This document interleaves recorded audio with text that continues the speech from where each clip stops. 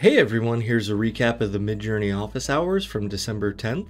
The biggest thing they're working on is version 8. They've trained some smaller models right now and hoping the big one will get ready over Christmas break. They're also working on a complicated version and a simpler version. They're training the simpler one first, and they're hoping that works and leads to a smooth release. They've been putting a lot of effort into hiring more people. They did lots of recruitment at a recent AI conference. Apparently, they need help refining the data sets. And there were some issues with relax mode the other day, but David said he thinks it's already been fixed. There are some major upgrades coming to the website. He called them design breakthroughs. Basically, a big revamp is coming, probably in steps. So there will be an overhaul of the style creator, then they're going to change the toolbar and the settings panel. Lots of user interface changes are coming, even a new create page. They have a plan to redo it all, but it's also not dependent on version 8, so we might see it sooner while version 7 is still active. Their goal is to get to a point where it's easier to create without language, or at least without as much need for language if I'm understanding correctly. These changes will come in steps but might take 3 or 4 months to complete,